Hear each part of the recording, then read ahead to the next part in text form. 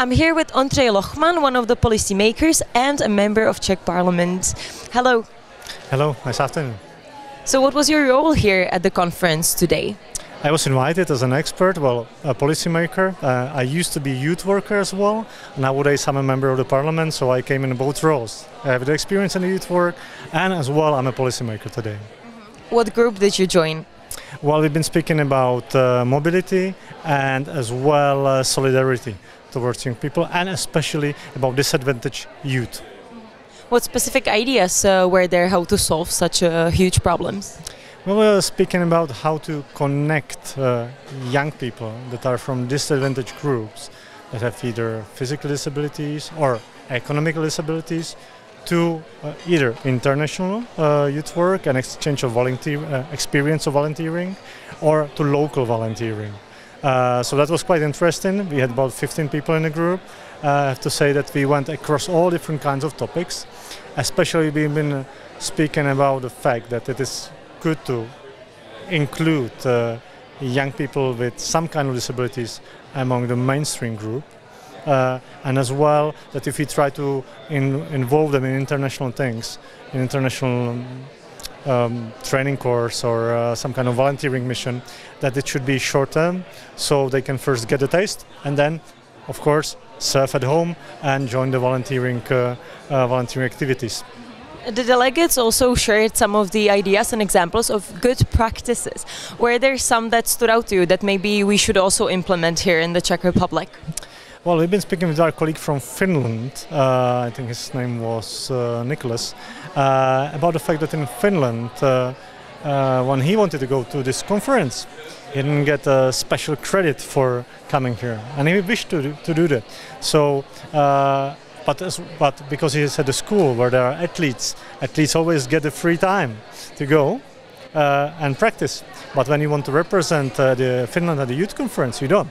So this is not really good practice, but it's an idea how to put this to curriculum because I think it is as important to be physically well prepared to get skills, the soft skills for your life uh, I think that can be good, uh, good uh, practice that if you use it, uh, then the formal education gives you special credit to be part of the non-formal education as well. Uh, is the dialogue with young people in Czech Republic enough, and are we breaking down the barrier between the old generation and the young generation? Well, I'm quite in the middle, being 40 something.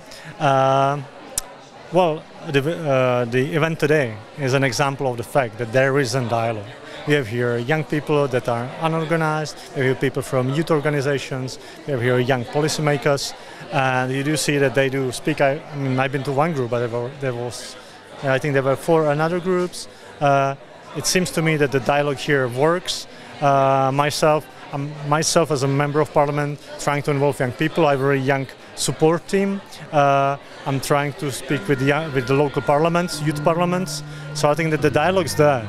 Uh, of course, we need as well inclusion, inclusion to youth policy decisions, for example. So you hear the young people, and the fact that young people be heard and they have the possibility to act and be part of the change, I think that's the most important thing. And today, I think what I've seen here, this is happening, and uh, I wouldn't say this is a bright future, but I think this is a good start. Uh, as many of the starts that I've seen, it is a good venue. It's good feeling here, and I believe that the experience that young people take from here uh, will empower them, and they will be the part of the change. I think that's a very positive attitude towards the idea. My last question is uh, Do you have a message for either the delegates that are already here to continue their work or to youth in general to become active European citizens? Well, the message would be uh, do have your ideals. I'm a politician today. I was one of the persons at this kind of conference 13 years ago, I did have my ideals. The more I'm in politics, of course, the, the more I kind of get, uh, the more I lose them because I see how complicated it is. Why I still do have my ideals, and I think young people should have them, should be, uh, should believe that they can be part of the change and become the change. and I think we as politicians should empower them, and I'll do the best from my side to do it.